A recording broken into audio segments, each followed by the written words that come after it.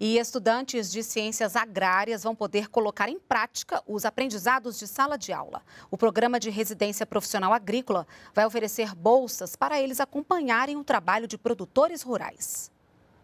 Estudantes de ciências agrárias e áreas correlatas vão ganhar um incentivo para fazer residência profissional. A oportunidade abre aos alunos a chance de conviver de perto com o produtor rural e conhecer a realidade do mercado de trabalho. O governo federal se sente muito uh, feliz e orgulhoso de poder lançar esse programa e dar essa primeira oportunidade para um grupo de jovens né, uh, que estarão uh, diretamente em contato e atuando pela primeira vez nesse mundo rural. O edital lançado pelo Ministério da Agricultura oferece 17 milhões de reais para financiar as propostas. As instituições interessadas devem apresentar os projetos até o dia 17 de agosto.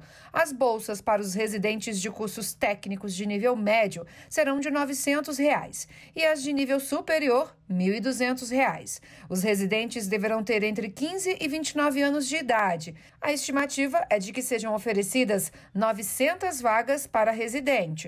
Os professores orientadores também poderão receber bolsas. O Instituto Federal de Brasília está entre as instituições interessadas em participar do programa. Provavelmente é, estaremos é, submetendo alguma proposta em parceria com a Emater ou com outras empresas do setor de ciências agrárias.